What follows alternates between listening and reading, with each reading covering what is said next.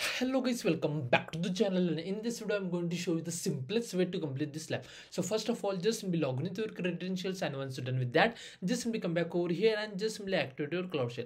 It will take a couple of seconds. Meanwhile in the description box of this video i will share all these commands. So basically what you do you have to come back to the lab instructions and click on the task number three. And from here what you do you have to just simply copy the region. For me the given region is us west front so i'm going to just simply copy like this come back over here and just simply paste over here. And make sure that there is no extra space after equal to. Now copy all these command like this way come back over here paste hit enter. Wait for a second and then just simply click on this authorize button. Now you have to just simply wait for this command get execute and once it's done you are done with this lab. So just simply wait and watch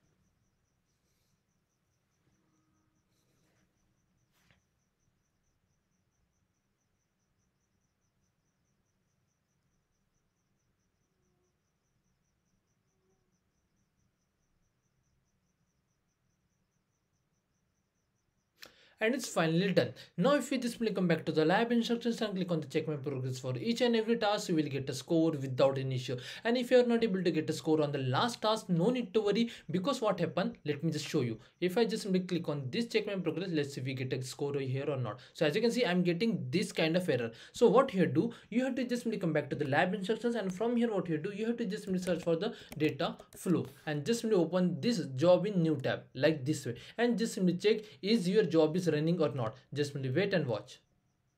So as you can see my job is running. But sometime what happen you might face an error like your job is failed. If you face an error like that way then what you do? You have to just simply come back to the task number 3 just simply click on the task number 3 and from here you have to just simply copy this command and come back to the dashboard and just simply run the command over here. You have to just simply perform this step if you are getting the job as a failed now if i just simply refresh the page as you can see my job is failed. And because of that i was not get a score on the task number 3 as you can see just simply wait and watch. As you can see we are getting this error. So no need to worry. Just simply come back over here copy this command copy like this come back to the dashboard and just simply paste over here like this way. Now just simply wait and as you can see it's done. Now if you just simply come back to the data flow and if you just simply refresh the page as you can see it's streaming and it's starting over here as well. Now if you just simply scroll down and click on this check my progress you will get a score without any issue. And if the score is not updated again you have to just simply come back over here and just simply wait until this thing is showing as running. As you can see it's now showing as running.